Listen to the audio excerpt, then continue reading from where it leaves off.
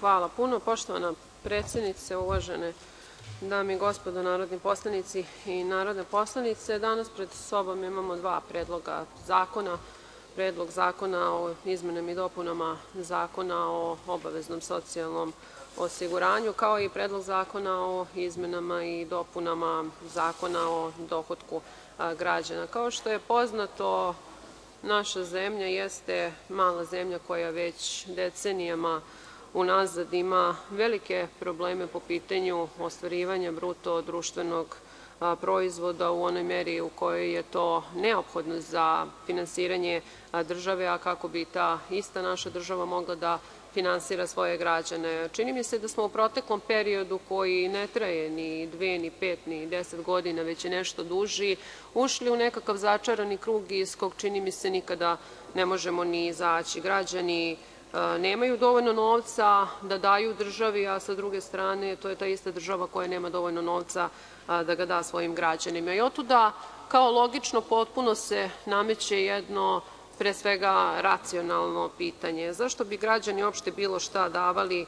državi koja nema šta da da svojim građanima? Kada pogledamo našu ekonomsku situaciju, onda logičkim putem dolazimo do takvog jednog zaključka. Ponoviću, već više od nekoliko decenija građani nemaju novca da bilo šta daju državi, a država nema novca kako bi bilo šta davala svojim građanima. I puno je razloga i naravno da se uvek mogu tražiti objašnjenja ukoliko hoćete i opravdanje za tako nešto. Na ovom mestu spominjati ih neću. Nema potrebe za ponavljanjem pitanja ko je to sve upropašćavao srpsku ekonomiju, jer bismo onda izgubili dragoceno vreme i došli bismo samo do jedne situacije, to je da su uništena dragocena domaća tržišta koja su omogućavala da prodajemo svoju robu.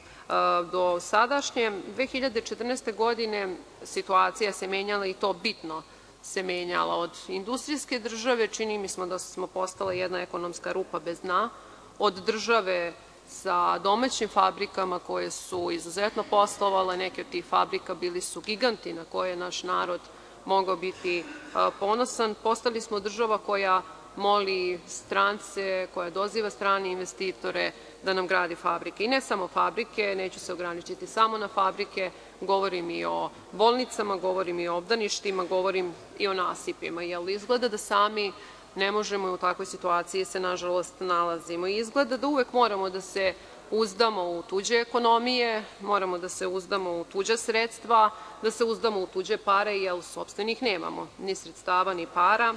I vrlo često moramo da se uzdamo i u tuđe ljude, jer čini mi se da ni ljudi dovoljno nema, a u nekada u pojedinim situacijama čini mi se da je biti čovek izuzetno teško.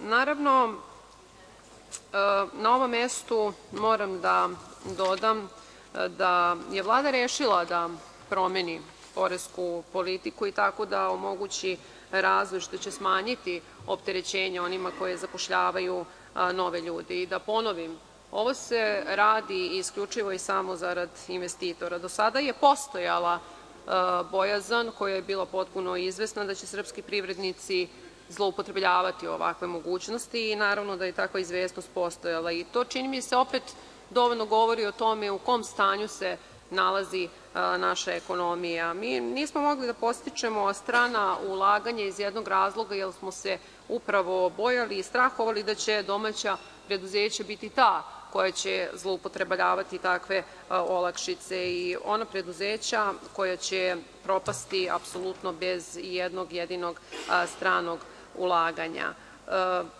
Srpski seljak, evo sada je već maj mesec, danas se nalazi bez jedne prebijene pare, jer sve pare koje on imao, recimo, uložio je u sobstvenu njivu. E sad više nema ni para, više nema ni njiva. I onda, kojim parama će takav jedan zemljoradnik da preživi do sledećeg proleća i kojim parama će on nešto sobstvenim rukama da stvori? I znate li uopšte zašto danas služi ovaj predlog zakona i ovo socijalno uopšte osiguranje, o čijem zapravo predlogu mi danas ovde raspravljamo? Pa sve te na ovom mestu moram reći postaviti pitanje – znate li zašto se uopšte daju te silne milijarde kroz budžet ljudima koji apsolutno danas nemaju ništa? Znate li da se to radi ne samo zarad tih istih ljudi koji nemaju ništa, već zarad nas koji imamo nešto? I to treba javno izneti i to treba javno reći. Naime, to se radi kroz jedan drugi zakon o kom danas takođe raspravljamo, a to je isto kroz Zakon o porezu na dohodak građana.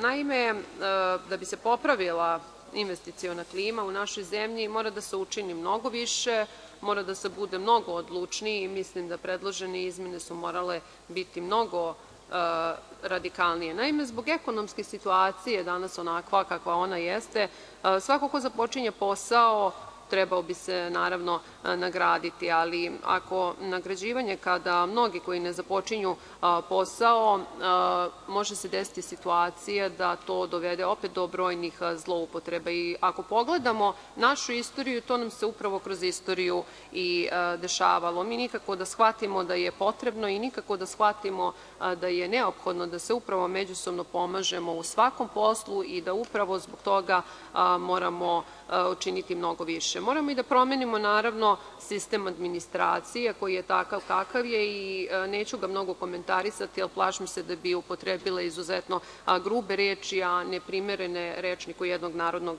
poslanika. Moramo apsolutno tu administraciju da učinimo potpuno efikasnu i da apsolutno svakog službenika u toj istoj našoj administraciji i njegov rad da učinimo apsolutno efikasno. Mora da se izdavanje građevinskih dozvola svede na minimum, da mora da se to naravno reguliše kroz neke druge zakone za koje se nadam da ćemo uskoro o njima raspravljati i u Narodnoj skupštini. Mora da se uspostavi i Agencija za bezbednost investicije. Mora da se svakome ko ovde u našu zemlju uloži milion evra garantuje da ga kojekakvi lopovi neće pokrasti. Znate, na ovom mestu moram da citiram nešto što je jednom prilikom davno rekao pokojni dr Zoran Đinđić. Svako će investirati u onu zemlju, pa makar postojao i rizik, ovo naravno parafraziram ga, jer ga citirati ne mogu, jer makar postoji rizik, ali može da kaže srpska ekonomija nije dobra, ali ok, u redu je, evo pokušaću, ali na kraju krajeva ako ništa i ne uspem u tome, bar znam da imam neku efikasnu vladu koja će mi biti garant, pa zbog toga vredi pokušati, a videću da li ću time i šta ću uopšte dobiti. Tako je govorio pokojni dr Zoran Đinđić. Sad ću se naravno vratiti nešto konkretnije o samim predlozima zakona koji su danas na dnevnom redu. Naime, što se tiče Predloga zakona o izmenama i dopunama Zakona o obaveznom socijalnom osiguranju, ovaj predlog zakona donosi prvo dve izmene. Izmene na koju prvo nailazimo je izmena stope doprinosa, jer od poslednjih izmena zakona kojima se je menjan ovaj član prošlo je manje od godinu dana. Ove izmene i dopune stupile su na snagu i one su u primeni od 30.5.2013. godine. I prošle godine brzina kojom su stupane na snagu različite izmene i dopune čini mi se da je unela najbliže rečeno haos u privredu, jer većina preduzeća je već završila rad na platama i nakon toga su morali sve iznova da rade, a za to su i bili potpuno limitirani, bar u vremensko, što se tiče vremenskih koji su bili prilično kratki. Čini mi se da je predlagač sada svestan situacije u kojoj se nalazi, da je svestan te vrste propusta i da je ovaj put rešio da izbegne takvu situaciju, imajući naravno u vidu član 4. stav 2. u kom stoji da kod obračuna i isplata zarada, odnosno plate i naknade zarade, odnosno naknade plate, stope doprinosa za obavezno socijalno osiguranje iz člana 1. ovog zakona, primenjuju se počev od obračuna i isplata za mesec jun 2014. godine. I čini mi se da se takvim putem i da se upravo na takav način daje dovoljno vremena da se svi prilagode novim stopama. Naravno, poslednji put 2013. godina, 2013. godine stopa po kojoj se obračunavaju, plaćaju doprinosi za obavezno penzijsko invalidsko osiguranje je povećana sa 22% na 24%, a ovim predlogom ona je povećana na čak 26%. Procenta, dok se stopa za obavezno zdravstveno osiguranje sa prvobitnih 12,3% smanjuje na 10,3%. Sada kada se pogledaju svi ti navedeni procenti, kada se oni samo pre godinu dana su bili manji od danas predloženih, to može izgledati na prvi pogled zastrašujuće, ali mislim da je jasna namera predlagača da se na ovaj način rastereti onako opterećeni budžet i da se ojača Fond za isplatu penzija koje su uvek često pod znakom pitanja, posebno neću govoriti o trenutnoj situaciji. Takođe, jasno je da predlagač smatra da da Fond zdravstva nije u tolikoj krizi kao PIO fond. Sledeće na redu jesu izmene koje se odnose na olakšice koje imaju poslodavci prilikom zapošljavanja novih lica i za razliku od prethodnog rešenja, ovaj predlog izmena odnosi se na zapošljavanje lica nezavisno od starosne granice, dakle nezavisno od njihovih godina. Zato se upravo u članu 40, zato se član 45 odnosi na lica koja su starija od 50, odnosno od 45 i 50 godina, sada to ograničenje više ne postoji. Takođe se i briše član 45a koji se odnosio na pripravnike. Sada se dakle olakšice odnose na zapošljavanje novozaposlenih lica, ona su definisana stavom 2 člana 2 predloga zakona koji glasi novozaposlenim licima iz stava 1 ovog člana smatra se lice sa kojim je poslodavac zaključio ugovor o radu u skladu sa zakonom kojim se uređuju radni odnosi koji,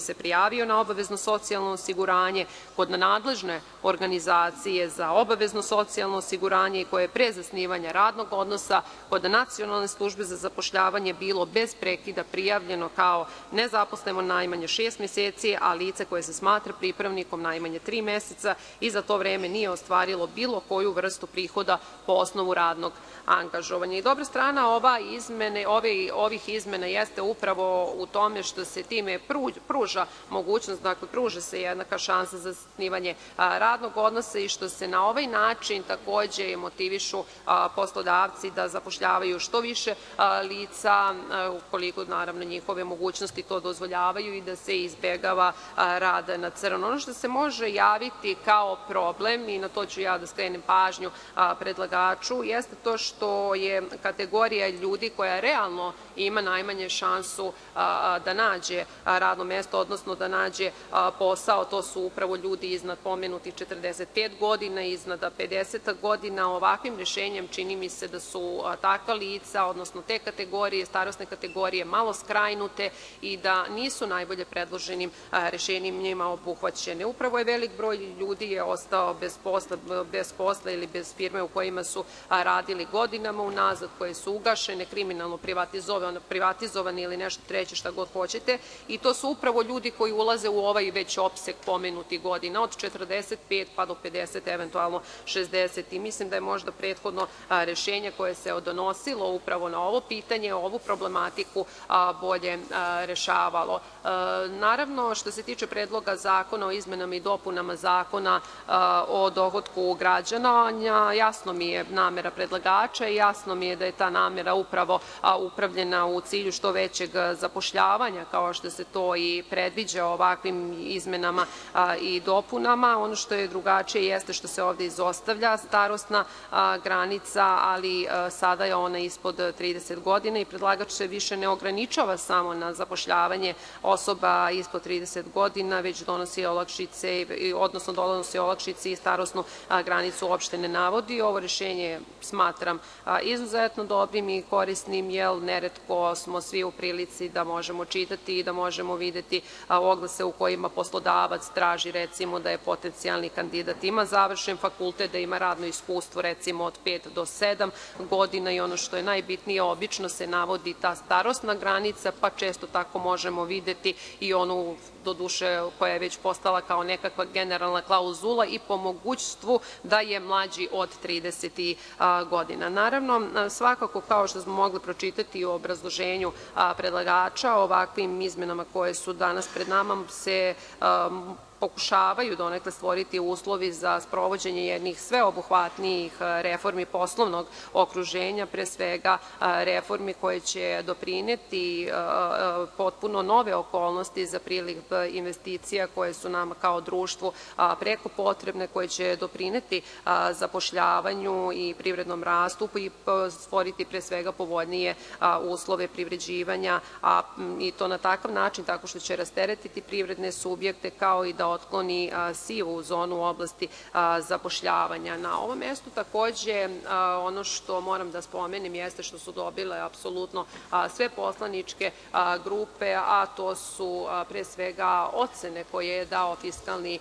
savet po pitanju naravno ovih predloženih zakona i apsolutno neki od navoda koji su oni tu stavili jesu potpuno tačni i sa njima se moram složiti, jer visoka stopa nezaposlenosti u Srbiji, a svi smo mi svedoci da je ona visoka i ne samo u Srbiji, već i u ostalim zemljama, naravno da jeste strukturne prirode, kako to Fiskalni savet nagoveštava i da zahteva jedne korenite reforme, pre svega korenite reforme putem izgradnje radnog zakonodavstva, kažem izgradnje pošto je ono danas na potpuno niskim granicama, pa gotovo da i ne postoji, da se poboljšaju uslovi povećanja i naravno da se stvore uslovi za konkurentnost domaće privrede koja u ovom momentu naravno ne postoje. I naravno da ću se složiti takođe sa Fiskalnim savetom koji kaže da je siva ekonomija ono što predstavlja najveći naš problem, da se ona procenjuje na preko 30% u našoj zemlji i da predstavlja ne samo problem, ne samo budžetski problem, već da ozbiljno ugrožava ceo održiv privredni razvoj, jer firme koje posluju legalno bivaju istisnute upravo do strane onih